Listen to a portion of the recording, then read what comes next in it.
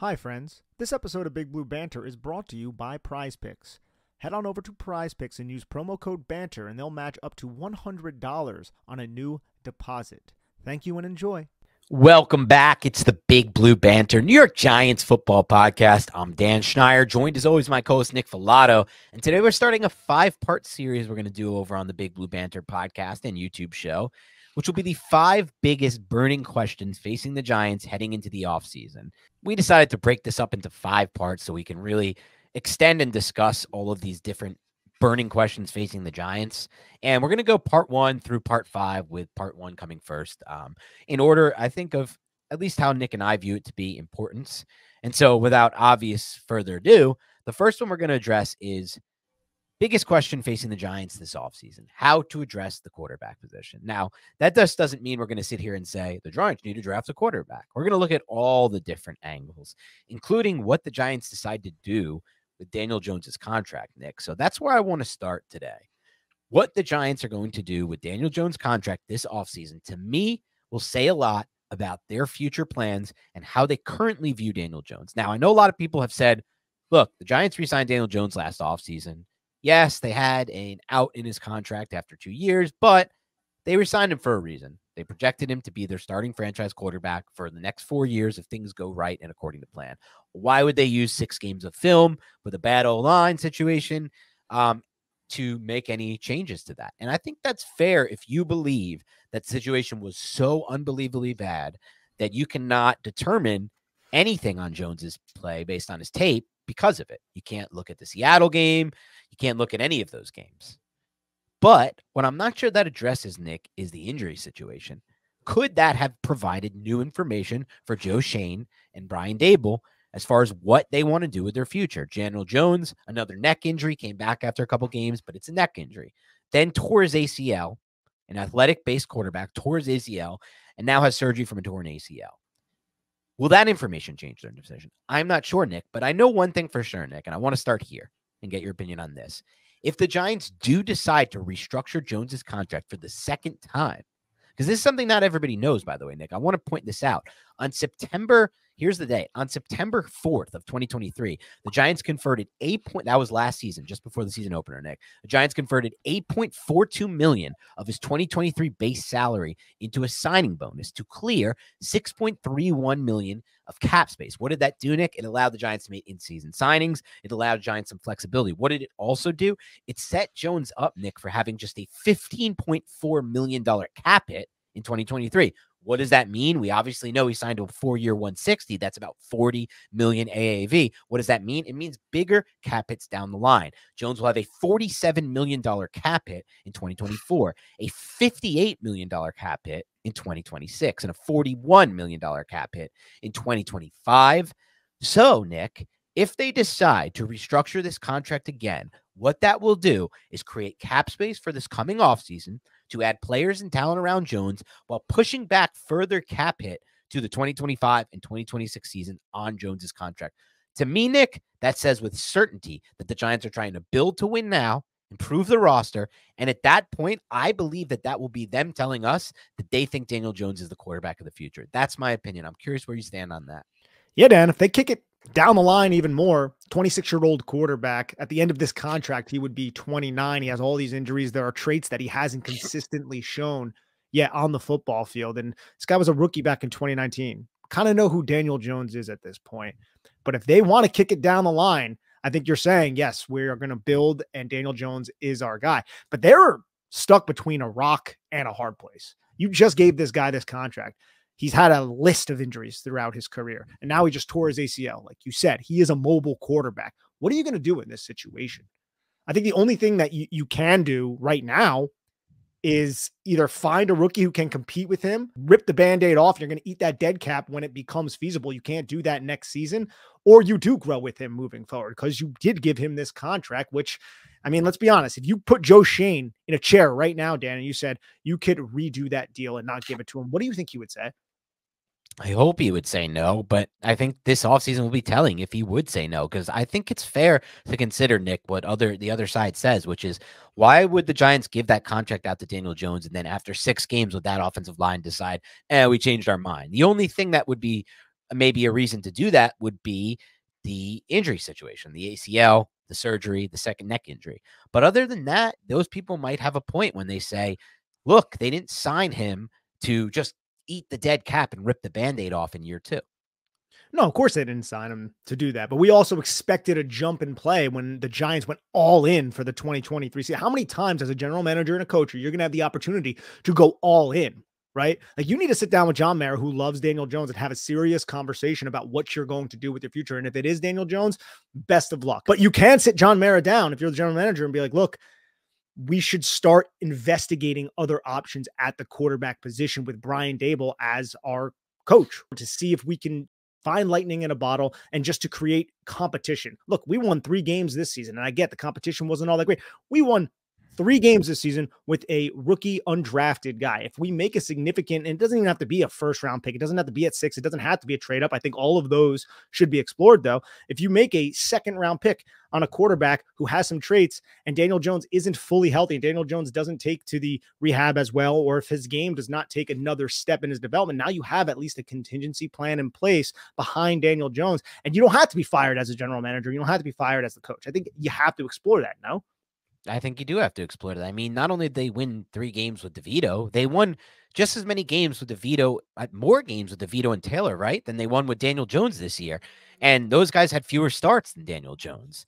So they won more games with fewer starts. Now they had Andrew Thomas in the game, yes. injured Andrew Thomas. They also didn't have Leonard Williams, and Jones had Leonard Williams. So we can't we can go tit for tat. And I know Thomas is way more important than Williams. I get it, but it's not the Giants didn't win those games just because Andrew Thomas was out there. There were other reasons, and it's not just because it was a quarterback other than Jones. But the point being, we shouldn't be able to compare those things. Those are not what you want to compare for a forty-seven million dollar cap hit, and we know that, Nick. But for me, the interesting discussion becomes what do you tell John Mara or, you know, what do you tell the fan base? Because if you say, you know, I think both of you and I, I don't want to speak for you, Nick, but my take is I want to rip the band aid off clean. I don't want any further restructuring of this Jones contract. I do not want any more dead cap pushback. The Giants are already have a lot of dead cap coming likely on the Daniel Jones contract, unless, of course, he plays through the contract, right? So this year, so much dead cap, they can't even cut him. We know that.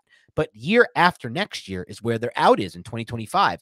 And even when they get out of the contract, if they get out of the contract after this coming season, there's still 22 million in dead cap coming for the 2025 season. That number actually, Nick, can rise significantly to 35 million in dead cap if Jones gets a season-ending injury next year while playing, requires surgery, and is not ready for the 2025 March new new league year. Then there's an injury guarantee that his agent worked into the contract. Yes. So now turn it to 35. But if you restructure the contract again this offseason to create cap space, let's say you restructure it so you kick $10 million in cap space down the line. That's another 10 million you add. I'd rather rip the band-aid off of what I consider to be a mistake at this point, to be completely yes. honest. I was swayed by his season last year. I tried to look for the best and the hope and the optimism, but I'm done with that. I'm no longer doing that. You can be dislike that opinion of mine. It's fine. It's my opinion. I do not want to go forward with Daniel Jones anymore at this cap hit. If they want to resign him down the line for six, eight million, like Tyrod Taylor in a few years, if he fizzles out with another team, whatever, I'm open to that. But at $47 million cap hit and whatever it's going to be, I'm completely out at the Giants having any chance at a Super Bowl with that kind of cap hit for this kind of player. So I want to get out of this as fast as possible, as smoothly as possible, and as clean as possible. I don't want to add another 10 million in dead cap to future years just to create cap space. But Nick, that's what I want to do. That's what you want to do. But that's a harder sell for Joe Schoen, right? If you yes. come to John Mara, you say, Hey, John, I know we look at the 2022 season. I know we look at the 2023 season. And I'm not telling you anything groundbreaking, John, but we don't really have the best roster outside. Don't even think about quarterback for a second. We got a lot of needs outside quarterback. How do we fix those needs in free agency, like a great guard or another corner or all the different things the Giants need? Re-signing Xavier McKinney. We do it by restructuring contracts. Okay, let's start with Andrew Thomas. Let's start with Dexter Lawrence because we know those guys are going to be here long term, barring injuries. So we start to do those. Boo, we get Lawrence. We get, you know, we get um we get Lawrence, we get Thomas. There may be another one in there that I'm blanking on. Who uh, someone brought them, him up to me today. Another restructure that's possible. Um, uh, Bobby Okereke, you can restructure Bobby Okereke's deal, kick some dead cap hit back on that one as well. But you still may need more cap room if you're Joe Schoen when you come to John Mara with your offseason plan, because John's going to want them to improve for the 2024 season. He doesn't want to go into 2024 as a dead season where the Giants are just not competitive and not able to improve on the product they put out in 2023 or the product they put out in 2022. To be quite frank, he's going to want improvements. And the next way to do that, Nick, is the only other contract they can really restructure Daniel Jones's contract. And that's when it comes into play because to me, and, and I and I just heard it from you, but I, I don't want them to go that route. I personally am fine. I hate to say it, but if they can't get a quarterback this offseason, I'm fine just treating the 2024 season as look, it is what it is. I, I'd rather. So I. It's not that I want to give up on a season, Nick. It's just that I don't want to mortgage more of their future to a player that I don't think has any real future with this team just to get a little bit better in 2024 when I know that there's no real Super Bowl ceiling in 2024. I don't care how much. You can restructure all of Jones' contract, right, Nick? You can drop that cap hit all the way down to 15 million, push back 40 million in dead cap to 2025, 2026, and use that 30 million in free agency. And guess what? I still don't think this team is competing for a Super Bowl next year, even if you did all of that. So why am I mortgaging any of the future to try to get that contract, uh, to try to improve the team is what is where I'm at personally.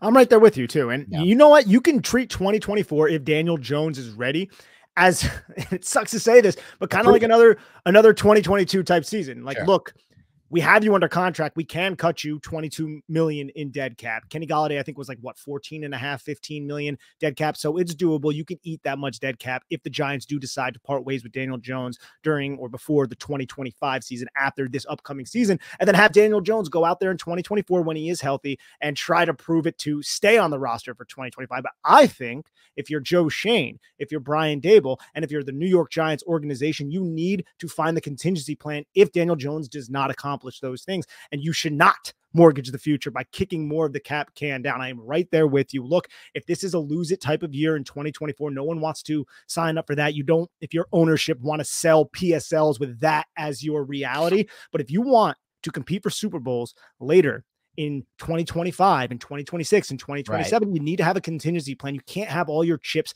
in the Daniel Jones basket any longer. We made that mistake last year. If he can prove himself again in 2025, all well and good. He's already under contract. You don't have to give him another contract, but let's not rely on that long term because, like you said, you're just mortgaging your future and you're shooting yourself in the foot if it does not materialize. And it hasn't materialized since 2019. We had one good season with Brian Daboll and everything went well for the New York Giants. I don't think we should expect that to happen moving forward. Yeah, that's fair. And, and you know what, Nick? It's really interesting because we did this already. We've gone through this know, already. Man. We didn't rip the band-aid off with the past GMs, right? With Eli, we kept pushing that cap hit back. We kept trying to build around him. Gettleman took Barkley at number two overall. Even I would argue that didn't even that didn't even give him a good chance to succeed. If I was GM there, I'd say if I want to win now, I'll put an O line here. I don't need a running back. I'll put an O line. But he did that. He tried. He tried. Pushed the cap hits back. We've done a lot of this like half-assed rebuilding for a while now, Nick. We've done this all the time with competitive rebuilding is what competitive rebuilding, right? But at some point, do you look yourself in the mirror and you say, what's more important, trying to get better each and every year or trying to get better long term? And is the answer to trying to get better long term to continue to try to get better each and every year? Or is there another route? Is that other route to create enough flexibility for yourself down the line by not restructuring, by not kicking cap hits back on players like Jones, who have had injury histories and really poor play on film by all objective analysis outside of the Giants? We're the ones who are saying it's poor on film, and we're covering the Giants. What do you think the people who cover the 31 other teams are saying about this? Because they Go look up their opinions. They're nothing like what you expect them to be regarding yeah. this quarterback. And then you hear Sam, uh, Seattle defensive back saying, "We watch the tape. All he does is stare down his first read, throws first read, then pick six. You hear San Francisco defensive back saying, "We watched the tape. We knew from the first snap he wasn't throwing deep. We just sit on every route." And then you see it on the film. And this is what other teams and players and analysts are saying. So why do you want to keep kicking that cap hit back? The other thing, Nick, is if they don't go the route of trying to improve now by restructuring Jones and and going heavy in free agency again, or even just eh, heavy in the sense of getting another Okereke, that's a big splash. Not every team signs an Okereke every offseason. And that wasn't their only signing, A'Shawn Robinson. But even if they don't go that direction, Nick, and they just say, you know what, it's a rebuilding year for us, right? Like there's a lot of teams that have rebuilt. It's a rebuilding year for us. And by the way, when you do that, Nick, you don't even guarantee you're not going to have success. The Rams did not do anything major in free agency this offseason. They lost A'Shawn Robinson, among other players. They traded Jalen Ramsey. How did they rebuild so fast? They did it by crushing the draft. They crushed the draft. Puka Nacua, the Kobie Turner, all those picks, and by hiring the right offensive line coach to turn that offensive line around like this. That's and, and they landed a couple of and and what? And they had Matt Stafford and they had Stafford come back. Obviously, that was Huge. that was a big one. But they were still yeah. expected to be a rebuilding team this year. The Rams were not expected to make the playoffs. They didn't do anything in free agency. They were just expected to be the second or third worst team in the NFL by record. I think everybody underrated Stafford in that and the importance of having Stafford. That's fine.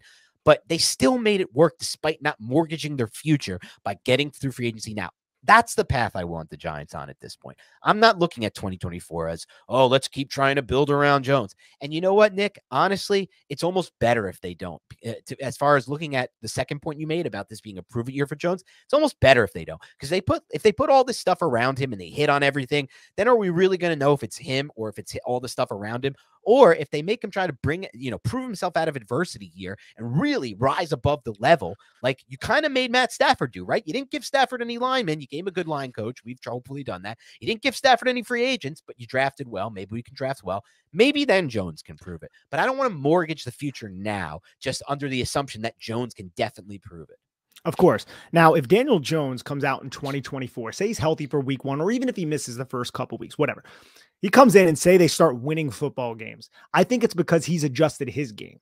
And yes. I know it's going to be difficult while he's in rehab, but the, the book is out on Jones, as you just laid out. Everyone knows what Daniel Jones does and how he has had success with Mike Kafka and Brian Daboll. If he comes out there and starts winning games, it's probably because he's creating explosive plays. It's probably because he developed the counterpunch. And that's what Daniel Jones lacks. Has no counterpunch. He can throw the jab. He can throw the jab. Maybe he'll hit you with a cross with his legs, right? But can he hit you with that uppercut? Can he catch you when you get your guard down? That's what Daniel Jones lacks, and that's what he needs. But at this point, we as Giant fans and Giants organization, their brass, they shouldn't rely on him developing that counterpunch. They should find another prospect or another quarterback who has a counterpunch already or who can develop that counterpunch and doesn't have, you know, five years of not developing it under his belt, five, six years.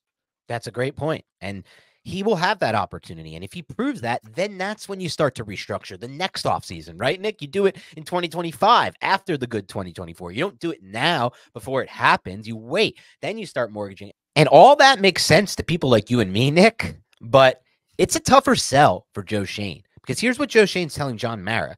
You just allocated $160 million of your own money to this player.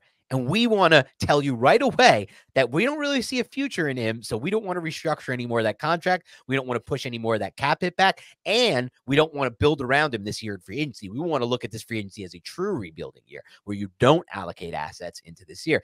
That's a tough sell for John Mara, especially when you know John Mara in his mind is dead set on 0% of why Daniel Jones has been unproductive is because of him. It's 100% our fault. He's even said it himself. He said, We failed Daniel Jones. Now, I always have contention with that take, Nick, because I think it's very disingenuous by anyone who says it because it's assuming that if Jones had everything around him, he would be elite. It's also assuming that he has no role in this and he's played no part in this, which is insanity to me, given his tape in college and given everything I know about him on tape already, because you and I, we watch the tape to try to evaluate players independent of their cast. We do that with every other player. Why can't we do that with the quarterback position? We should be able to. But that's not how Mara views this. Mara views this as we need to keep trying, build around, build around, build around, get him this, get him that, get him this, get him that, because that's when we can say that he failed us rather than we failed him. And that's going to be a point of contention between them if Schoen wants to take this route of ripping the band aid off and really truly viewing this as a rebuild year. What's going on, Big Blue Banter listeners? I'm excited for the football season for several reasons. And one of those reasons is Prize Picks, which is North America's largest independently owned daily fantasy sports platform. And it's so simple to use. Instead of battling thousands of other players, including professionals, sharks, and people who are going to exploit you, you pick more than or less than on two to six player stat projections and you just watch the winnings roll in. It's very simple to play and gives you a little extra skin.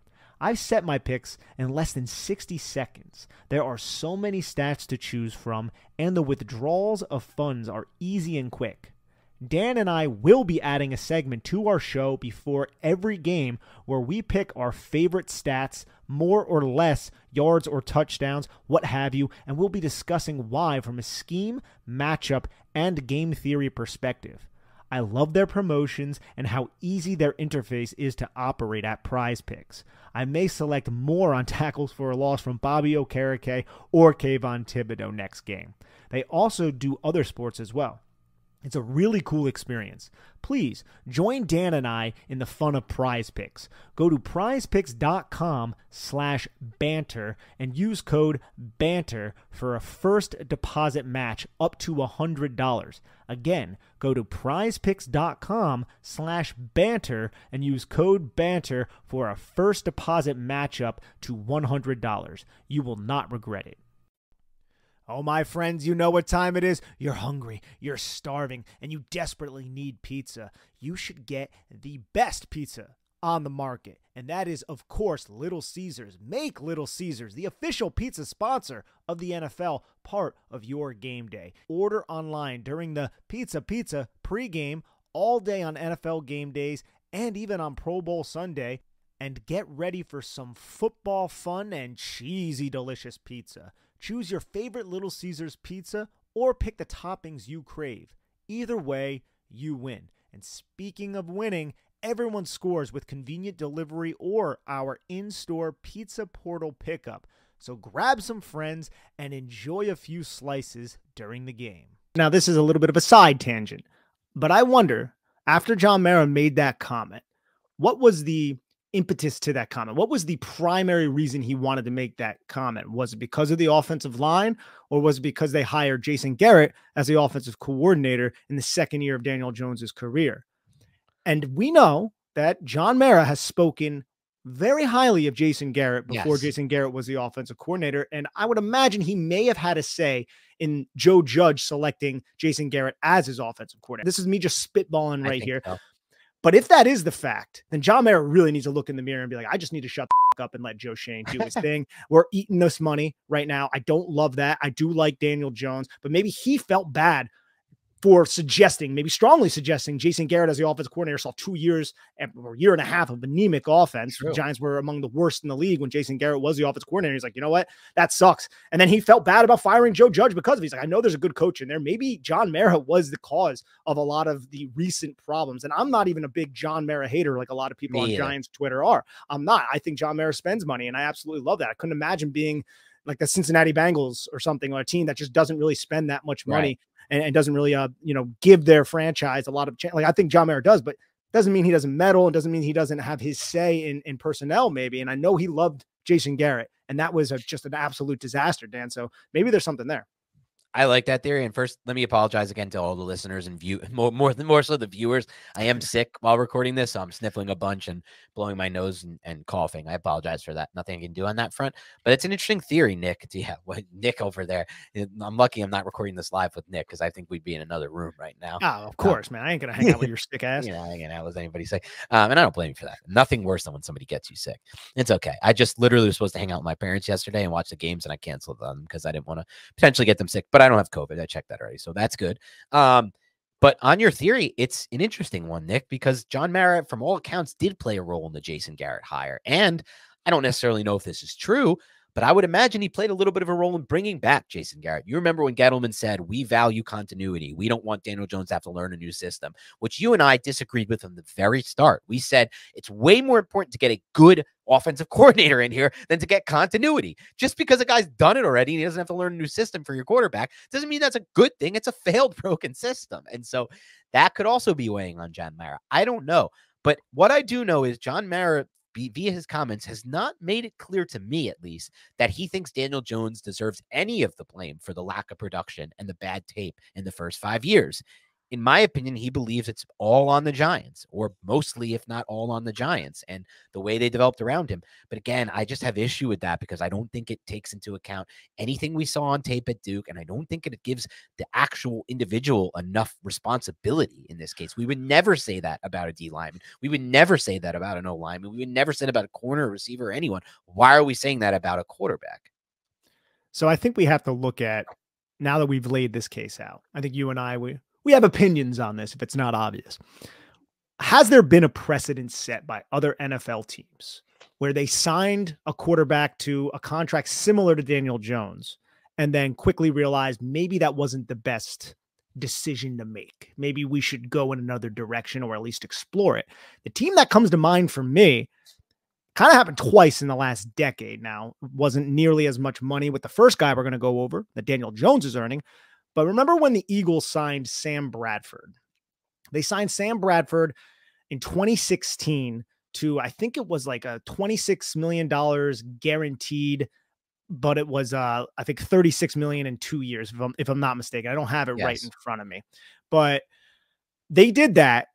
And after one year, and Sam Bradford was never going to be the long term solution at this point. He had been in the league for about six years, has been on multiple teams they realized they needed to draft somebody else. So after giving that contract, they traded up in the draft to get Carson Wentz. I have a bug flying in my face. Sorry for the YouTube.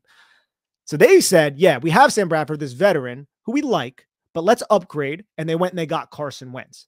And then a couple years later, they gave Carson Wentz a significant contract.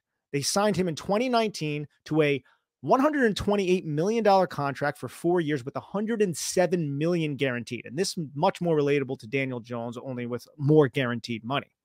Shortly after, the next season, in the second round, they drafted Jalen Hurts. And by the end of that season, it was very clear that Carson Wentz was no longer going to be a thing, a year removed from giving him a massive contract. And those are the those are the primary precedents that come to my mind, mainly the Carson yeah. Wentz one, but I felt like the Sam Bradford one was also uh, interesting just because it was the same franchise and it maybe it helped lead to the decision making behind selecting a guy like Jalen Hurts to overtake Carson Wentz after they realized they may have made a mistake. Well, this takes us, Nick, to like the next point of addressing this burning question, asking, uh, you know, facing the Giants. Like, how do they address the quarterback position? Because the first point is, do they restructure Jones and do they build around Jones and and put everything into 2024? You know, because they went pretty all in on 2023 from a cap standpoint. Do they do it again in 2024? The second question becomes, if they do make the decision, if they don't do that and they make the decision that we want to truly choose this as a rebuilding year, no more restructuring Jones, do they make the decision to move on from Jones? And or do they keep the decision as you know we'll have an expensive backup at least for 2024 uh, at the very minimum and then we'll see what happens 2025 because if they make the decision what you're talking about and going down that route the question becomes is this a tradable contract? I am of the belief that this is not a tradable contract and I want to make that clear right now. Oh unless what? The Giants take on a bunch of cap hit?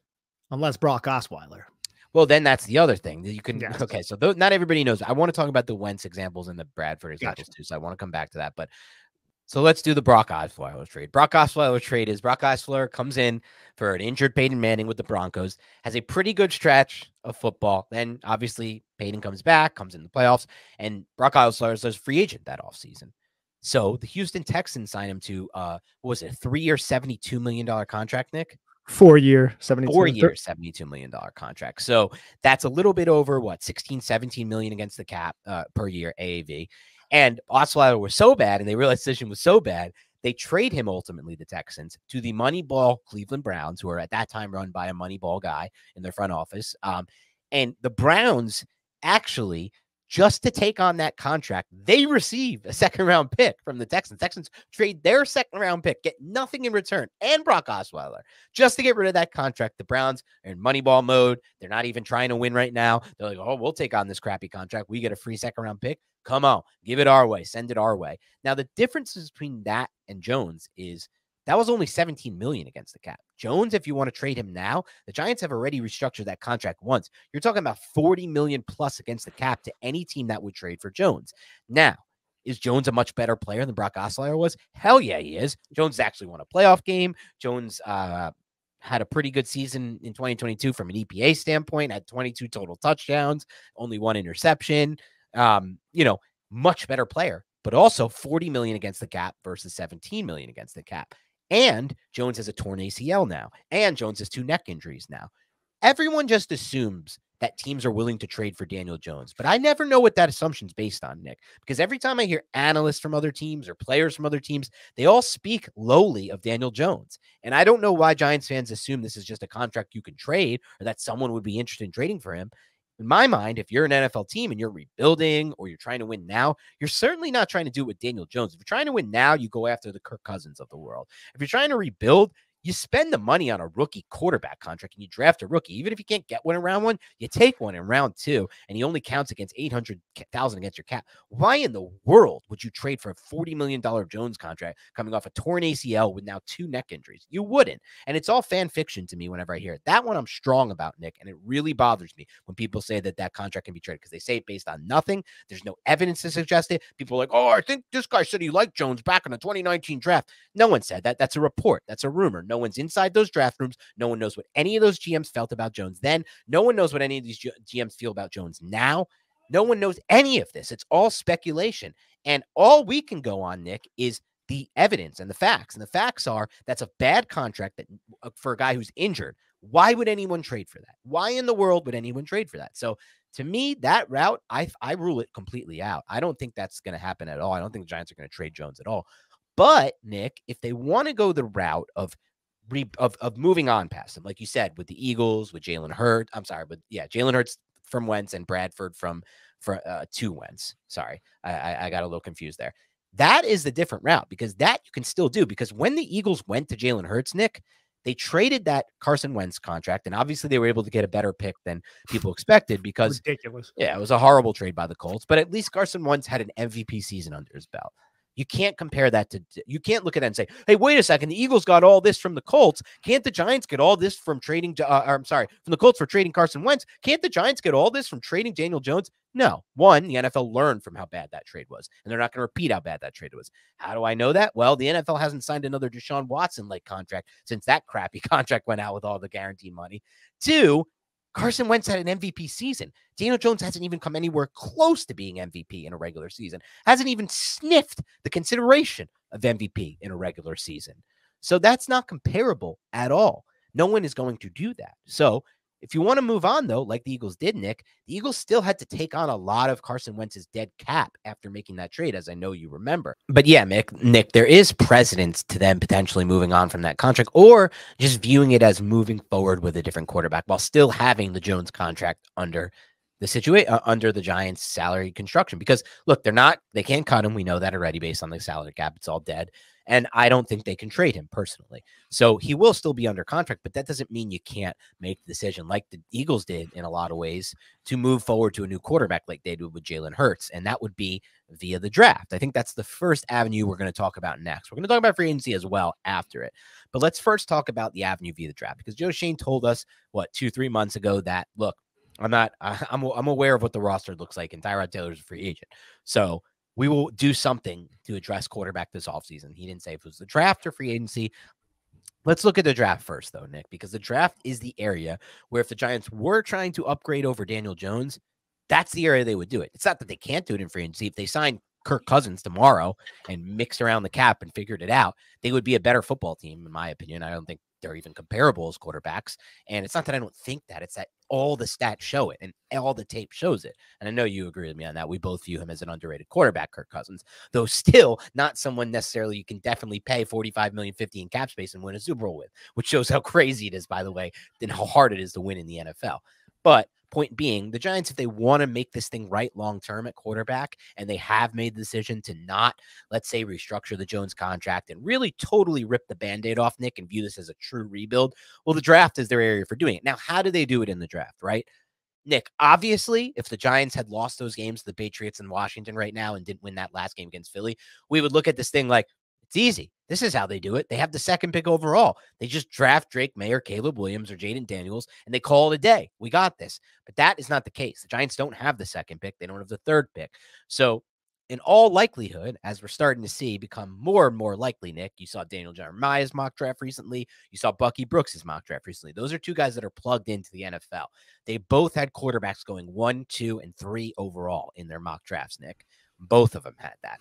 So given what we can only use to assume that quarterbacks will probably be going one, two, and three. It's been my prediction for two months now, and I'm sticking with it. If information comes forward that makes me change that, Nick, I am willing to change that. As of right now, my prediction is one, two, three QB.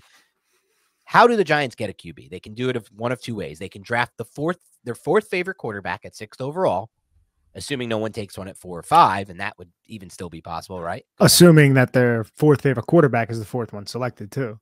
Right. That's another thing. That's another great, great point. Or if eh, and if they if he's not, you would have to assume that they have four high grades on quarter. Let's say they have a high grade yeah. on four quarterbacks. Let's just use that for.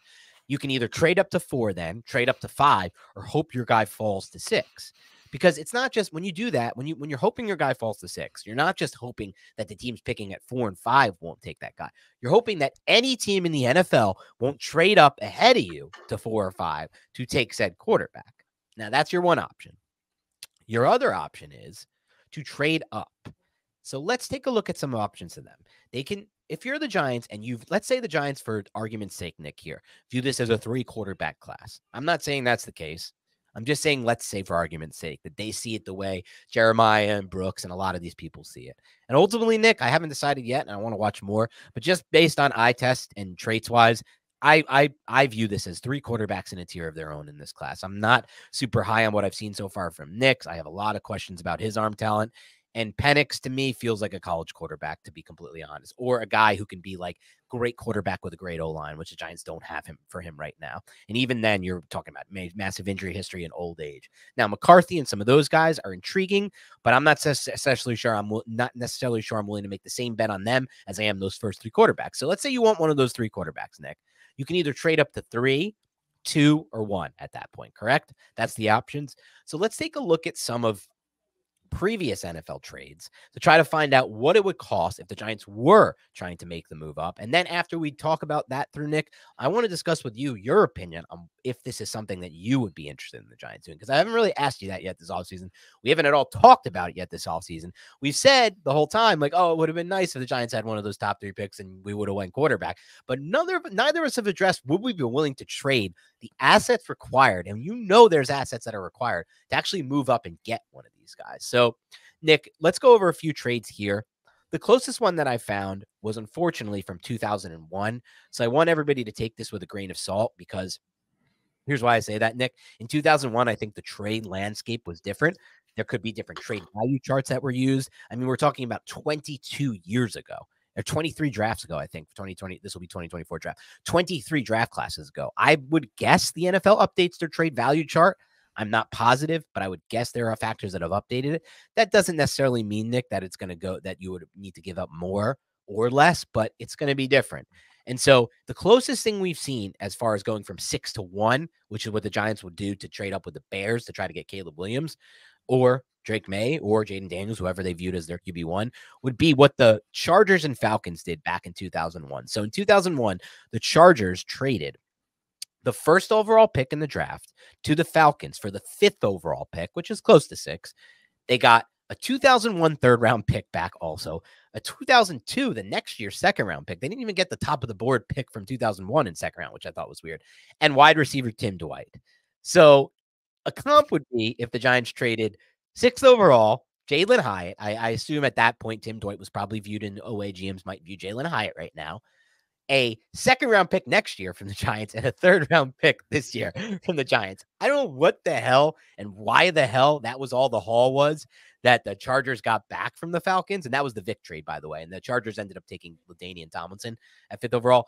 But I got to imagine, Nick, that if the Giants want to do this trade to go from six to one, it's going to cost a lot more than that. Yeah, this is pretty irrelevant. Tim Dwight was like a, a very good special teams kick. How returner. did this trade ever happen?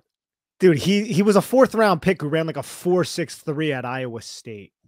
I don't know how this. So he wasn't happened, even Jalin Hyatt comp. That's not even a fair comp. Then it was worse. No, than, no, crazy this trade. I'll say this at least. It kind of worked out for both teams. It you did. Know, the Falcons got got Mike Vick. that's only because they had Brees. The Falcons. Well, no, not even. Brees didn't even win there. They went on to Rivers. You're right. It just somehow worked out for both. Well, the Chargers in that same draft, if it, that was the Chargers, well, they got Brees. You're right. Got, no, they got LaDainian Tomlinson, With no, with the fifth pick. And then they got Brees yeah. in that draft too, right? They did. That was, yes. Yeah. That was 2001, I believe. And yep. Brees was like solid there, but he had the injury issues. And then he ended up obviously going to New Orleans and they ended up getting Philip Rivers. So you have to say it ended up working out. But if that was a haul, yeah, sign me up. But of course, that's not going to be the haul. We have other precedent uh, set since then to suggest so. Yeah, and so we'll go over the trade that's been made since then, and it's a little bit different. Again, we're not going to find we didn't find six to one with that Chargers Falcons trade. We're not going to find it here with last year's trade either. But last year, the Bears traded the number one overall pick to the Panthers, who had number nine. So this is nine versus six. There's a big jump. So Nick, it's obvious based on any draft chart you look, it's a, probably a range of between 200 and 250 draft value points. These are, you know, we don't know what NFL GMs use, go from the sixth pick to the ninth pick, right? So the Bears traded that first pick for Carolina Panthers' ninth pick. So the Giants theoretically would give up considerably less haul. But what makes this trade interesting and hard to replicate from the Giants' standpoint, if they do make the trade with the Bears, is the Panthers gave up four draft picks, right? They gave up the ninth overall pick, a late second round pick, 61 overall. That might be, say, the Giants' third round pick from this year, a 2024, next year's first, right? So the Giants can give up next year's first, and then next year's second, or two years from that second but they also gave up DJ Moore. And the thing right now is that Giants don't really have a DJ Moore on their roster to trade, right? A young player still in his mid 20s who's like a borderline wide receiver one. So that's what makes that interesting and hard to compare. Go ahead. But you got to look at the team that they're trading with. Now, the Bears needed a wide receiver to enhance Justin Fields' True. game. Now, what do the Bears need now from the New York Giants? A, a player who may be added to this deal to to sweeten the pot do the Giants have a player like that? It wouldn't necessarily right. have to be a wide receiver. And it, the Bears are probably going to select a wide receiver with one of their two sure. top picks, anyways. It could be a t- it could be a defensive end that the Bears need, but I don't really think the Giants have that. The, the Bears aren't going to view Azeez Ojulari as anything interesting, though. If you want to get deeper with it, could it be Kayvon Thibodeaux? And that's when things get really interesting. I wouldn't want to go that direction personally, most likely. And I don't think the Giants would either. But if the Giants throw that name into the mix, Nick, everything changes because DJ Moore versus Kayvon Thibodeaux. I would imagine if you're an NFL GM, yes, DJ Moore's proven, but DJ Moore's already on his second contract and he's older. Kayvon Thibodeaux is a young, much younger than Moore on the rookie deal. That to me would be more valuable, in my opinion, as trading for an asset if they want to go the direction. But I don't think you can. People have said Azeez Ojulari, Nick. I don't buy that crap at all. I don't think the, the Bears are going to be looking for Azeez Ojulari after he's missed like every snap he's of, of his career essentially, and not really even proven that much. And then so you know, that's when it starts to get interesting. What players you consider have worth or value to the Bears for what they need. I know they need a second edge. I know that. I think they're good. They're set on tackles. Not that they would take Evan Neal anyway as any kind of like major asset. and we have this guy. He was a top 10 pick not long ago. yeah, Chicago, come I doubt, they, I doubt they, but they're good at tackle anyway. I think if they need line, it's interior offensive line. But then it gets to the interesting thing that was floated recently, at least by uh two guys that I that I work with actually, Ryan Wilson from CBS Sports, their main draft analyst, and Emory Hunt from uh, Football Game Plan, who, by the way, at one point did say uh, I'm not even to get into this because everybody killed him for it, and in my opinion, he got unfairly killed for it. But you, if you know, you know. But those two had a podcast recently where they suggested a trade, which would be the Giants trading the six overall pick, a second round pick, next year's first, and a sign and trade of Saquon Barkley. So again, the sixth pick. This is to get up to one. The six with the Bears. The sixth pick, a second round pick, next year's first, and Barkley after a sign and trade. And since that that podcast has surfaced, I have seen but likely bogus rumors that the Bears are really interested in covet Saquon Barkley. Now, Saquon Barkley could help the Bears, right? They could help Justin Fields a lot.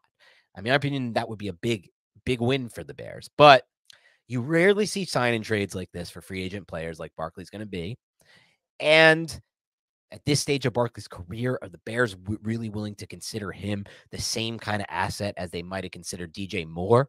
Last offseason, a younger player at a position that that ages considerably better than running back. I mean, every position ages better than running back. That's where I get a little skeptical, Nick. Um, but what do you what do you think around that base to move from six to one? And I guess my question to you would be, Nick, one, would you even be interested in trading up from six to one? Two, is there like a breaking point in assets, or what kind of framework would you consider to make that move? So the Saquon Barkley one that Ryan Wilson laid out with Emory Hunt, yeah, I would do that deal. Now a lot of it comes down to a is it realistic? Are the Bears not going to select a quarterback are they actually going to roll with Justin Fields and then have to give Justin Fields a second contract, which is going to hinder your, your cap space moving forward? You right. can reset the quarterback clock. All that stuff has to be factored in. But let's say they are and they're interested in this trade. Yeah, I would sign up for that trade in a second. Saquon Barkley, we love you, but you got to go. I would investigate a lot of these trades. I, I am not willing to really entertain Andrew Thomas, which I don't know. Like they have tackles, they'd still be interested in them. But Dexter Lawrence, I'm not really interested. Those are the two that are my no go off the trade market for sure. Those two. But honestly, man, if you have the conviction, Joe Schoen and Brian Daboll, if they're like, we love Drake Maye, we love Caleb Williams, like this guy can set us up and we'll be a perennial Super Bowl contender for 15, you have to do it. That's what I think. So if you actually have that conviction with anyone, or you, you, so you even even Thomas and, and Lawrence would be in that for you, or no? I think you entertain it. I, I don't want to. Those would be two players that I'm going to have the conversation and do everything in my power to not include them. And if I had to include them, you're not getting nearly as much capital from a draft standpoint that you think. But I, I would like to I would like to think that they are off limits. But I think you still entertain every scenario if you have the conviction of those two quarterbacks. I don't know if they do have that conviction, but you're this close, man. If you think these guys can really, first off, from a from a GM standpoint, from Joe Schoen's standpoint, this will buy you another year, right? Same with Brian Daboll, might buy you another year. And if you honestly believe these guys are it, and they are going to be every year Pro Bowl type talents, Patrick Mahomes type guys, yeah. And if you have that rapport, I think you have to freaking entertain it, man. I don't only think you have to entertain it if you think that's the case, I think you have to entertain it if you think they can be that, because I don't think anyone knows what they will or won't be. And I think that's too much of a barrier for a lot of fans in, in, yeah. in roster construction. They're like, ah, there's so many busted quarterback. Ah, I can't do it. I can't do it. But it's like, if you never try to do it, how are you ever going to get it? How are you going to find the elite quarterback if you never try to do it? The you know they argue you just build the greatest roster around these guys and look at Goff, look at Purdy. It's like oh great, they did it in a year where there's not a single elite quarterback in the NFC. How long is that going to last, guys? How long is it going to last? Because we already know in the other conference, if you don't have Mahomes or Allen, you're not going or, or Lamar, you're not really going anywhere in that conference. Really, you're in trouble. And now Stroud, you can throw him into the mix maybe and Burrow and Burrow. It's, it's, it's, it's, a it's, a crazy gauntlet there. It's a gauntlet there. But we know that that conference has the elite QBs. Are you just to assume the NFC is not going to have an elite quarterback for the next 10 years? That's a terrible assumption to make. We don't know. It could be as early as this year if one of these draft guys works out and they go to Washington, for example. We just don't know. And so I think you're better off not trying to make that assumption. You're trying to take these chances to find that quarterback. Now, that doesn't mean you have to do it now. Oh, sorry. Go ahead. Think about it this way, too. Who's picking number two? Washington. That's the Washington. The Washington Commanders are picking number two. You get these guys in the room Drake Maye, Caleb Williams. Let's focus on those two specifically. You want to trade up to ensure that you get your guy if you think Washington's going to get that guy. You're going to have to be playing that guy twice. If you have that much conviction, again, man, if you if you really True. believe this guy is the next Justin Herbert, if he's the next Joe Burrow, if he's the next Patrick, go down the list and say if you have a higher grade on Caleb Williams over Drake Maye or Drake Maye over Caleb Williams, and one of those guys might fall into your division, that even gives you more of a reason sure. to trade up and get them. That's a good point. And the way I look at it, Nick, you know, I don't want to, I'll entertain it because I'm at the point, Nick, where I just want hope for this franchise. And the only way I see personally see hope for this franchise is via the quarterback position. You can disagree with me. It's my opinion. I'm allowed to have it. I'm t- talking to anybody else. I know where you stand on this, Nick. But for those who disagree, it's fine. Don't get so combative about it. Don't get mad at me for this take. It's just an opinion. And my opinion is there's no long term ceiling of being a Super Bowl contending team on a consistent basis with Daniel Jones at quarterback. I need something else to be that quarterback. And and so to me, I'll be honest with you, Nick, there's almost no price to pay that I'd be mad at them for trading up. I'd be excited almost no matter what because I would know that we would have a chance to actually get one of these quarterbacks. And in my lifetime, Nick, we've never had that opportunity. You can say 2019, but to both of us, we had a second round grade on Jones. We didn't feel like we were drafting an elite prospect. In 2004, I was alive for that when they had Eli, but I wasn't really following the draft the same way. And, and, and to be honest, this is a big reason why myself and a lot of fans weren't necessarily saying every win was a great win this year, because without those wins, we actually would have been in position to get an elite yeah. talent at quarterback without trading up. So to me, there's not a price that would make me go crazy. I hate Joe Schoen. How did he do this trade? I can't believe it. We're so screwed. Because my mind would immediately go to the hope and the optimism and the upside of what that quarterback can become. That doesn't mean he's going to become that, but it would go to that route. Now, with that said, sorry, did you want to say something? Yeah. So just don't get strong armed because it's easy to include a lot of Right. those future picks and go up and get your guy. And I really want you to investigate it. But to me, Andrew Thomas and Dexter Lawrence, those two, while you can entertain it, those two are worth more than a first round value. I Both agree. of them. They're proven commodities. They are all pros. They Young. are great. They're young, great building block players. So if they were to be included in the trade, I don't know if you're giving up, you know, the second round, then the third round, and maybe a, that sub that I don't even know if you have to give up a future one at that point. that, that's my point. Like, don't don't get strong armed into that. That's not DJ Moore. Right? No, like, That's not way DJ better Moore. than It's DJ. way better than DJ Moore. So I want to make that clear. You can entertain it, but man, you're giving up significant. and. I wouldn't do Thomas almost no matter what, Nick, because I don't know you need him to block. You need exactly. him. You need, Yeah. and I don't. Dex, But at we're least, at- yeah. We're ahead. just setting parameters for Sure. what what should be entertained and discussed. And to me, the most important thing, and I know that you agree with this, in the NFL is having a quarterback that gives you the opportunity to compete year in and year out. And the Giants haven't had that since Eli Manning. No, they haven't had that since Eli Manning. And if they get it in the draft, Nick, they get it also for five years cheap, cheap under the cap. So you can really build out around them and spend a ton of cap space. And now, eventually, the goal would be to find a quarterback who, once you pay him that second contract, you could still win with, a la Mahomes, Allen. And I know people are, you know, eh, there, there are different opinions on the Allen situation, but it's like, dude, have you actually watched the tape? Nah, he's a stud. I don't It's care. just- it's pathetic. But um, you know, those guys that you can win with once you pay them. But for now, you would also get the rookie deal out of it, which is great for any team. I mean, if you hit like right now where the Texans are at with Stroud, dude, they're going to start Amazing. unloading. They're going to start unloading via trades for big contracts, free agent contracts. They're going to just unload because they don't have no, they have no reason not to. They have so much cap space because this guy, who's an amazing quarterback on their team, is only allocated nine million in cap space, while people like the Giants are allocating forty-seven million to Daniel Jones, right? And so that's what you can get. But as far as the trade up for me goes, and what I, I'll be happy almost no matter what, but I won't be happy if Andrew Thomas is involved because I don't think it's easy to get a left tackle, and I think it's so necessary for a quarterback to have a left tackle. Dexter, We know that it's not easy to get a tackle. it's not. Yeah, we know more than we know that. It's not easy to get a tackle. We've tried. We tried at nine, seven overall. We tried at ninety nine overall with paired. It didn't work. Try with Ereck. Flowers. It's yeah. Tried with Ereck Flowers at six over, whatever that, 11 overall, whatever that was. And no, I think it was nine overall. Um, but, and the jury's still out on Neal for me. Hopefully, an offensive line coach can fix Neal. I'm not totally against that. But you move down the line. Thomas, to me personally, is a no go. I would rather just kick the kick it down the line and just hope we can get in position to draft an elite guy at some point outside of this year. Dexter becomes interesting. I still think I'm leaning toward no, he shouldn't be included at all, but it does get interesting at that point. But what really gets interesting to me, Nick, is Kayvon Thibodeaux. Because I love Kayvon, but I don't love him nearly as much as I love Dexter Lawrence or Thomas. I don't even have him in the same tier as those two players right now. So that's when it gets interesting. Because if you float that as Joe Schoen, you're floating insane asset that has not really ever been floated in a trade like this. Like it's not comparable to DJ Moore, even in my opinion. I think he's a better asset and should require, you know, should garner more back than a DJ Moore. Personally, I know DJ Moore's a proven player and he's still pretty young, but Kayvon Thibodeaux was a you know, blue chip type prospect who's still on his rookie deal and much younger and could develop into a player that we don't know. So that's when it starts to get interesting. But what I would also say with regards to this is something you mentioned a little bit earlier.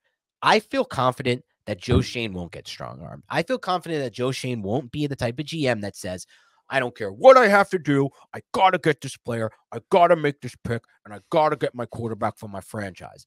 Now, the former GM the Giants used to have, you know for damn sure he would have got hoodwinked in a trade because you've seen it already. He traded BJ Hill for a center who's out of the league right now, you know, and that was only one of the trades. He traded for Alec Ogletree, then extended him, and he's out of the NFL and was like time after time after time after time and again. Did that guy make bad decisions and bad trades? And even though the Beckham trade was an, was working out as a good one for him, he hit that one. But other than that, you know he wouldn't do it. But I don't think Joe Schoen's going to get strong arm Nick, so I'm not as worried about that. Um, but outside of Kayvon and and you know the next that you would give up from a pick standpoint, where would there be a draft capital that that would just blow you out of the water, Nick, to the point where you're like, I'm now angry. And I'm not saying you wouldn't be like intrigued. I'm saying you'd be angry if they made. I get it. Yeah. So Yeah. probably three ones and multiple twos or something. Okay. Because there's going to be some bidders, man. It's not just going to be Yeah. the Giants who are interested in selecting or the That's the- opportunity right. to select Drake Maye and Caleb Williams. Like the Bears are in such a good situation. Like they, like Ryan Poles, like, bro, thank God you wanted Bryce Young. Thank God you wanted him, and he ended up sucking, and your team was a disaster, and you fired your coach, Carolina Panthers, because now I own your pick, and I can do whatever the hell I want with it, and I have my pick for my own shitty franchise, where I can go and say, like, I would love being a Bears fan at the moment, but yeah, so I would say like three firsts and and multiple seconds, like c- completely removing the Giants from the draft conversation through 2026 would be something where I'm like, ah, and I'm also in love with the draft process. So deep down, even It like trading, so bad for us. You're right. Yeah. God, even like trading next year's first, like I'll accept it, but there's going to be that little part of me that's like, man, I love going over first round prospects. That know, we wouldn't know? even have one. no, but uh, I um, but I, I'm willing to make to trade up. I am. I'm Yeah. willing to entertain that idea. I think you have to be aggressive and you have to get your guy if they love their guy, and that's really what it comes down to. I just don't want you to get strong armed. And really, Andrew Thomas, Dexter Lawrence, include him in the conversations. But holy shit, dude, don't don't do anything too crazy.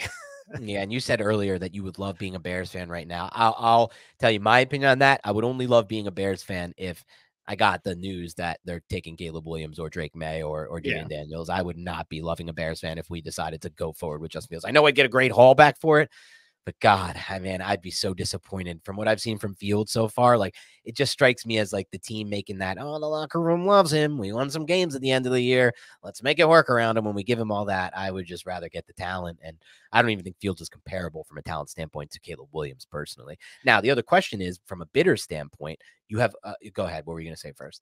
I was just gonna say, man, if someone could could really unlock Justin Fields though, from like a physical talent Oh, standpoint, there are, physical, yes. there- there's really few quarterbacks who have his physical talent. I It's just it's just getting the right maybe quarterback coach, getting the right offense around him, Do you think and having possible though. And having him process at, a- at a different level. That's right. Because he has kind of that Daniel Jones thing going on. Where, Yeah. Oh yeah. when does. you watch Justin Fields throw the football, like I could watch Justin Fields throw the football all day.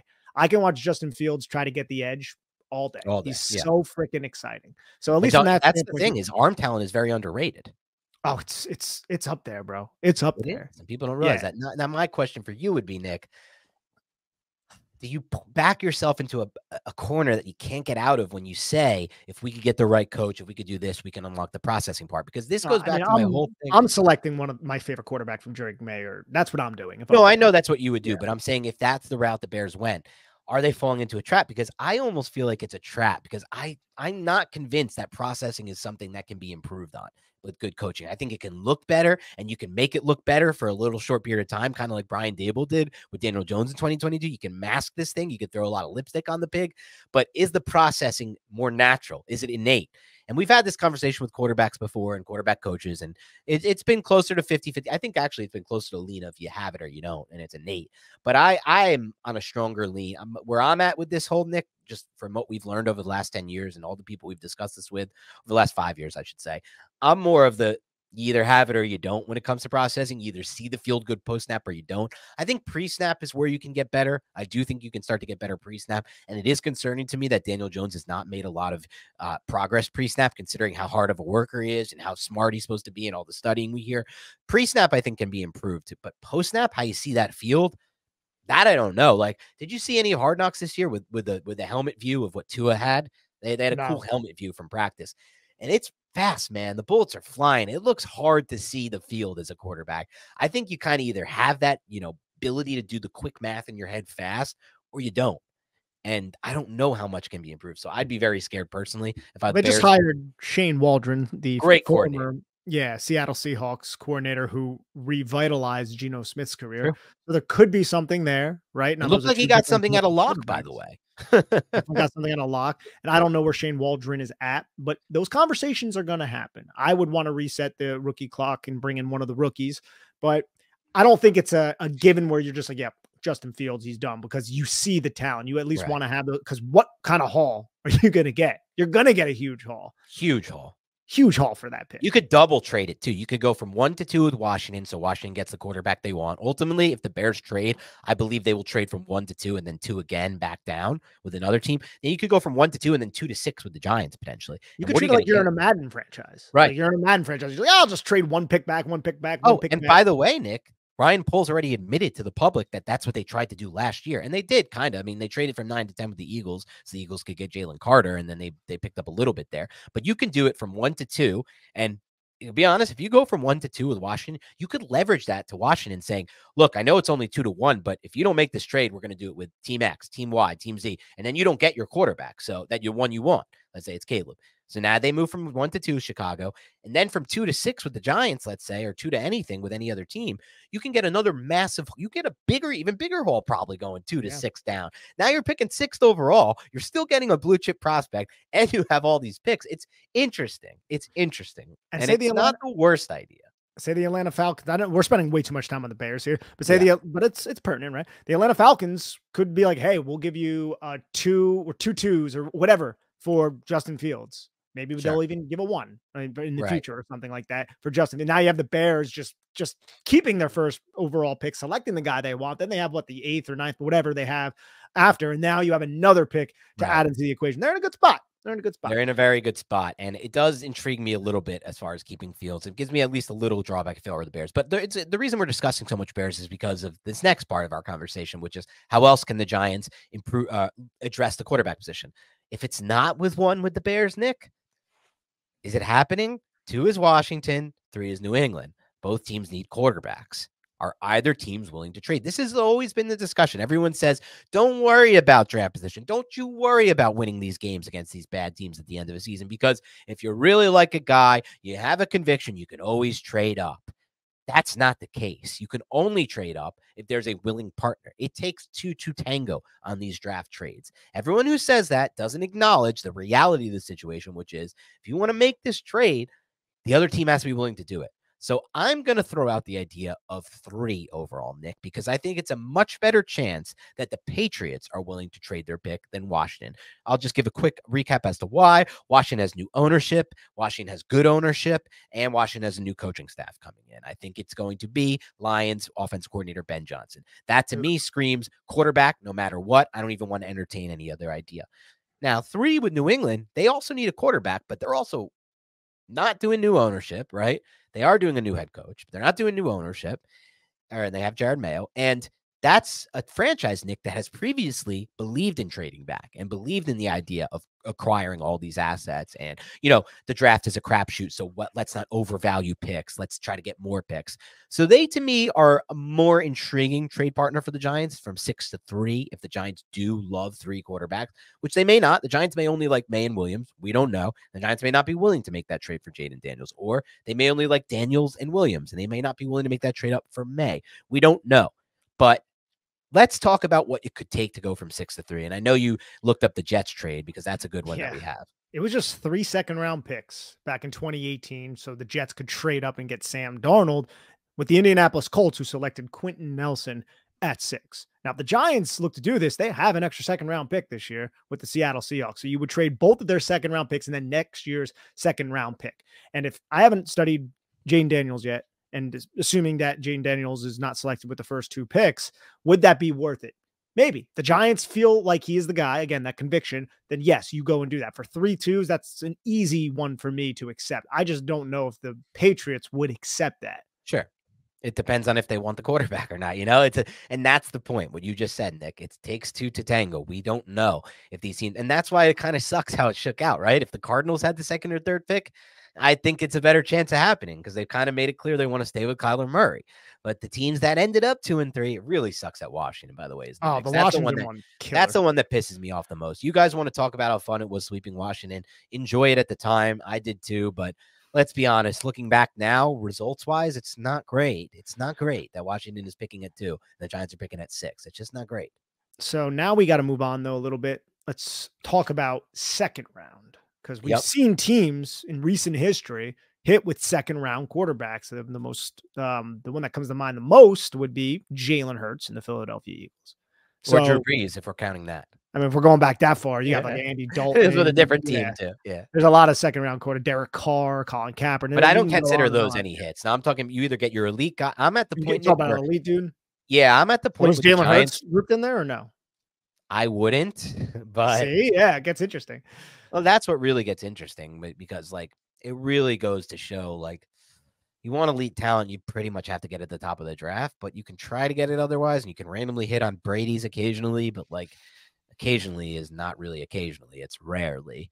Um, but you know, I don't consider Dalton like I'm past the point of going for the Dalton and Carr ceiling type quarterbacks like Jones was. Like that to me doesn't work because once you have to give them the second contract, you're have no chance to really compete consistently for Super Bowls because they're taking up 47 million cap space and they're not good that good. So second round, it's interesting to me, Nick, but I will say this. This has been my take for a while. I'm curious to get your take on this. I had this argument, I think, in a giant space a little while ago with our buddy Sal, who believes that there's enough quarterback talent in class, uh, talent in this class that the Giants should have a conviction on anything that falls to them essentially at six, which I disagreed with. I think you should only take a quarterback at six if you believe he has elite upside and elite traits. But to me, Nick, if those three quarterbacks are off the board that I see, Daniels, Maye, and, and Williams, I'm not so sure I see such a big difference between the rest of the guys. So to me, if you take one at the top of round two versus taking one at six, you may not be getting that much of a drop off in your eyes and in your evaluation. Or let's say you don't even take one in round two. Let's throw this into the mix, because we haven't discussed this possibility. What if you leverage your round two picks to trade back into round one and get a quarterback at the back end of round one where you still get his fifth year rookie option? To me, that's not necessarily so different than what they would get at six at quarterback if the big three go off the board one, two, and three. So I'm actually better. Like I would much rather go quarterback end of round one after trading up or beginning of round two than I would at six if one of those three is if all of those three are off the board, I think.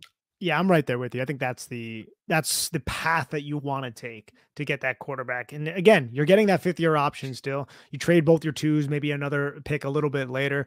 Now, I don't see just from again, have to watch the all 22, a huge difference either between a lot of those the Penixes and the Bo Nixes right. and the JJ McCarthy's. So maybe you can get that guy 30 or whatever, and you could trade back. So I, am definitely open to that. But we should go over if we're done with this section, one more course of action that Free we've agency. seen teams Yep. We've seen teams in recent history, the Indianapolis Colts, the Tampa Bay Buccaneers, have a lot of success finding quarterbacks through free agency on cheap deals. You can even argue the New York Giants with Tyrod Taylor yes. to some degree. And I wish Tyrod Taylor was returning to the New York Giants because I do believe in his in his game. I just think he's he's injury prone because he just kind of subjects himself to to big ass hits, right? But there are some quarterbacks who are going to be free agents, Dan, who are interesting who can fall into this bucket, who can allow Daniel Jones to maybe still start, but can maybe push Daniel Jones if they're actually operating in a meritocracy, which we mm-hmm. gave Brian Daboll credit for that in the Kenny Golladay situation with David Sills back in 2023. Now, the quarterback is a much different, uh, much different um, um, reality there. It's a much different situation, obviously. But a couple names that come to mind if you exclude Tyrod Taylor, you have Sam Darnold, you have Gardner Minshew. Those are two that really kind of jumped out to me. Josh Dobbs is going to be a free agent. Joe Flacco, which starts to get a little weird, right? But Joe Flacco had success this year, did help his team get to the playoffs, and Jameis Winston. So you have some names there, right? Some some guys who aren't terrible. Ryan Tannehill too. I just don't know how much he's going to want, or if you know he might be over the hill too a little bit longer in the tooth than than what we're expecting. But Ryan Tannehill is also athletic, and he can he can operate uh, the mobile passing attack and the rollouts and the things that Brian Daboll like to do with Daniel Jones under center. So there are some guys there who from who from the list that I just said interest you the most. I, I almost feel like it's Tyrod Taylor, but I mean, other than that, let's say it's, it's a not... cheaper contract, sub 10 million a year. Okay. Sure.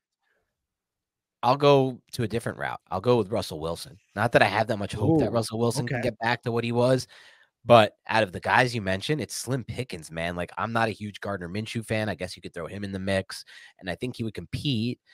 But the fact of the matter is, like, if they don't go the draft route, they are going to go one of these free agents, right? I mean, but it comes before the draft, obviously. But that's the interesting part too, right? Like, that's a that's the big interesting part too. Like, what will the Giants free agent, what they do in free agency at quarterback, spell anything to us about what their plan is at quarterback in the draft? I wonder if that's the case. But I don't know if I find anything intriguing outside of potentially trying to revive Russ. I like the revival of Russ as as an option. Again, it would have to be you know, cheap. And I just cheap. think oh, that'd be real cheap. I just think he is a little bit more pricey than the guys that I named. But one player that uh, that interests me, and he has similar issues to Daniel Jones. So I'm not looking, you know, I don't have delusions of grandeur that he's going to come in and, and be the long term quarterback. It's more just push Jones for the 2024 season. Hopefully, they add a rookie as well. And not just push Jones, just to, to, to jump in real quick, also to be insurance because Jones has been injured a lot, all but one yes. year, right? Yeah. Yes. What about Sam Darnold? I'm intrigued by it. Look, he's 27 years him, old. by it. Yeah, he's 27 years old, sucked with Adam Gase, has his issues. Footwork was an absolute mess, but you are pairing him with Brian Daboll. And again, you're not looking for a guy who's going to take you to Super Bowl. You're not going to find that guy on free You're looking for upside.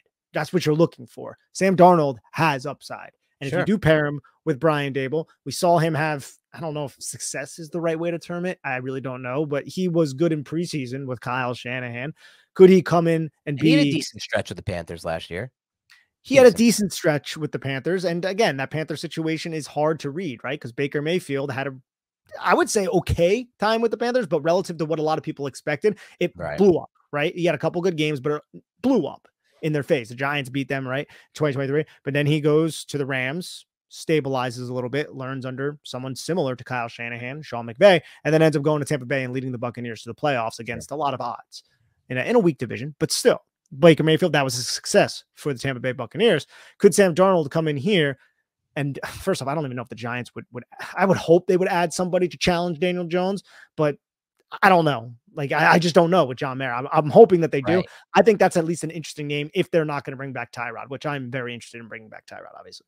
Yeah, I would prefer Tyrod, obviously there. Um, but I will say this: I don't know if Tyrod wants to come back here because if you're Tyrod Taylor and you're looking at the Giants in free agency this year, and they tell you you can resign with us, but Jones is the unquestioned QB one. I don't know if you could look yourself in the mirror and be like, ah, I saw what happened on tape. I was arguably better than Jones was on tape. I was certainly better as a passer. That's not even questionable. And again, I know I had Andrew Thomas, but I mean, you're looking at it like, do I really get to come back this? I don't even have a chance to beat the starter out. And that would be the interesting thing if the Giants are willing to give any of these free agents a chance to compete, at least. Not saying they're going to beat out Jones, but at least prove that maybe you can beat out Jones in camp, or you may be, be the better option for the Giants. And I don't know if Taylor will feel that way, Nick. It's interesting, but Darnold is intriguing based on his age and arm talent. I just think that he's got some issues with his game that are, are maybe unfixable. Maybe I don't know. You bring him with Brian Daboll, maybe he can improve himself. It's it's tough to say. Um, Russ, I don't think he's going to cost that much. Russ, I think he's done from a cost standpoint. Like I think he's got to face a reality that like he's failed at this point with two teams and he made a lot of money anyway with the Broncos because the contract they resigned him to. Yeah. And he's so, also married to Ciara. Right. Does the money matter? Might, well, no, not just that, but no. there's a lot of appeal in being in the New York area oh, right. someone with superstardom. So he might want to play for a team like the Jets or a team like the Giants. And if Aaron Rodgers is with the Jets and you look over at the Giants and you're like, well, Daniel Jones torn ACL, I'm Russell Wilson. But again, it goes back to is that the path that John Mara and Joe Schoen are going to take? Which basically says if they bring in someone like Russell Wilson, it's like, yeah, Daniel Jones, you really have to compete for this job. Good luck. Yes. Whereas Sam Darnold, you can argue like yep. it's Daniel Jones's job, but you know, we'll keep here's our insurance. Yeah, exactly. With some upside that we can develop, right? But I don't know if it's fair to just be like, that's all we need right now. Some insurance with a little bit of upside. Jones has been terrible not. on tape, like, and he's injured all the time. You need to bring real comp at this point. You need to look yourself in the mirror and say, we can bring in real competition for this dude at this stage of his career. But has ownership drank that glass of reality? Right. Yet? That's the question. Yes. Uh, they've drank that glass of reality. I don't know if that's the answer. Uh, uh, the answer to that question. I do know that you know ESPN had that sourced article last year that said the Giants are one of the teams in the mix for trading for Russell Wilson. So I know there was some interest at some point there. I mean, and now it's the cheapest you're going to be able to get him. I honestly don't think he's going to sign a big deal with whoever signs him. Um, ultimately, I think maybe Atlanta will make that move. We'll see what happens there. Um, it'll be intriguing. I don't know what he has left in him, Russ Wilson, but I know that he'd be an interesting comp. I mean, he actually had a pretty decent year this year before he got benched, which is weird. Like if you look at the numbers, let's take a look at these Russell Wilson numbers. First off, you know what? I think we should really do the hard hitting yeah. journalism here. What's that? Look, it was uh, Go Hawks, Seattle. It was Broncos country. Let's ride. What is it if he signs with the New York Giants? Yeah, exactly. What I don't know what it would go be. big or go home, like for the Giants. Like I, I'm not sure. There's got to be something like that though. Something. Russell Wilson this past year, by the way, had a 66.4 percent completion rate, 26 touchdowns, and just eight interceptions this past year. It's not like he was that horrifically bad this past year. Like those yeah. are fine. He didn't even play the whole year. He was benched in the, toward the end and, of the and that year. situation was really odd with Sean Payton and sure. the contract and guarantees yeah. and things of that nature.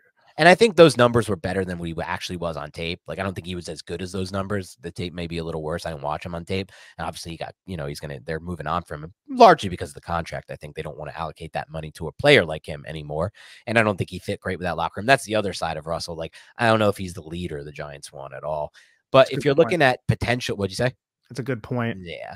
But if you're looking at potential, just like what can the Giants do if they can't, if the draft is out of the picture because they have the sixth pick and they're all gone and they don't really love any other guys, it's at least someone who has won before and I think could push Jones potentially based on what Jones has shown lately on tape. But it's something we'll consider for sure. And it's something what as far as what the Giants will do if they go, don't go the draft route, and it'll be interesting to see. There's a couple other names that I want to throw out there, not not none of whom I'd really be all that interested in, but Jacoby Brissett, um, Tyler Huntley, who at one point there was some intrigue around him. He had a decent stretch with the Ravens. I'm not a huge Huntley guy either, Nick. Yes. Um, and again, Dan and I are talking about just for 2024. This is not a long term solution. No. So please don't like be like, oh my God, you did shine Sam Darnold. No, okay. We're looking for this is, no. we're ripping that band aid off and we need somebody to compete in 2024. Hopefully, the Giants will take steps to actually get a young quarterback between now and then, their actual quarterback of the future, hopefully in this draft.